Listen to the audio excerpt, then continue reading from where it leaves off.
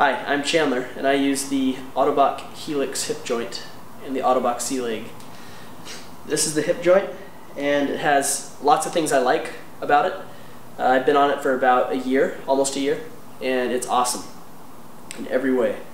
Uh, contained in this unit are rubber bands for flexion assist, hydraulics, and a built-in stride limiter. Uh, now this hip is, is polycentric, which means it moves on two axes, and it, helps me walk faster, it helps me have more security when I walk, and it helps me save energy in my daily routine. The hydraulic unit helps suck up the energy that's taken when you, when you drop your heel on the ground. So just this little step from here to there is sucked up by the hydraulic unit, and so it makes for a less choppy uh, gait. Usually when a hip disartic or hemipelvectomy walks with a normal leg, there's quite a bit of pelvic thrust that goes on each step when your heel strikes, and this reduces that. The rubber bands in the, in the hip are the flexion assist, and what that does is when you lift your foot off the ground, those unflex, and so there's very little movement for my part to do that.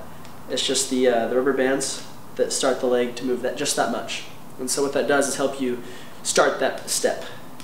And that part's awesome for saving energy. Now the number one thing that's very different about the, the hip, I was previously on a different hip that was basically a free moving spring uh, with, uh, or it was free moving hinge with a small spring in it. And this is very different because it has a hydraulic unit that actually stops it from moving. So when you try and kick forward, it stops. And uh, I'm used to a hip, and most people are used to a hip where when you throw it forward, if you throw it hard enough, it'll go right over your head. Now this hip will just stop completely. And what that does is limit your stride, limit your step length. And so for the first time since being an uh, amputee, I can walk with equal steps. If I walk in the sand or the snow, I can, I can uh, know that my steps are perfectly equal. And what that does is help me walk more balanced and faster.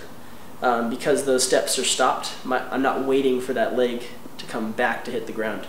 So I can walk at any speed I want. In fact, there's another video of me walking slow, a little faster, and then running. You can, you can actually run on this unit.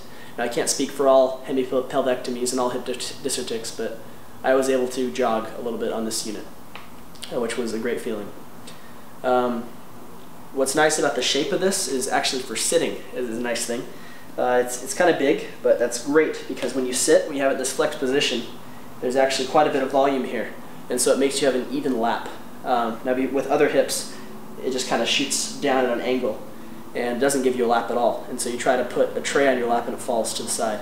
Uh, so that's nice about the shape. Uh, I can walk stairs way more safely than I've ever been able to. Again, because I'm not waiting for the step to come back to, for my foot to strike the stair.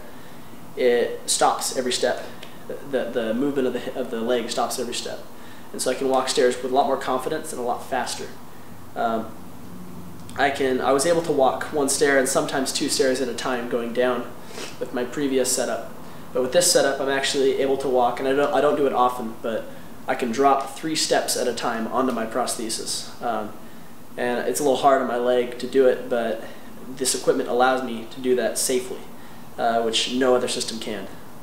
Um, and so I can walk, walk stairs a lot faster. I get around on a college campus without anyone passing me ever, and that's a great feeling uh, when you just when you can actually pass them as an amputee. That's something very new to me. Uh, I can walk a lot faster, a lot uh, less distracting uh, to other people. Like they don't always know I'm an amputee, which is great.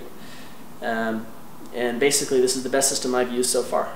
Um, and I'm sure there'll be other stuff to come along, but for now, this is honestly the best system that I believe is out there.